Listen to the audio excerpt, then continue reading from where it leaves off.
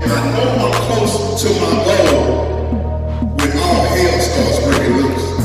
The defense is going to bring everything they got to stop you from getting in the end zone. There are some of you right now that are sitting down on your dreams. There are some of you right now that are sitting down on your gifts because you faced the haters.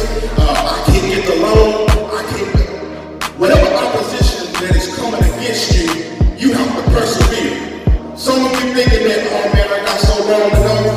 But that's why you can't quit. Because you know, right there on that goal line, and the thing about life, you don't always see how far we come. And that's why you can't give up. The day you quit could be a day, you could be a day away from your breakthrough. That's why it's important.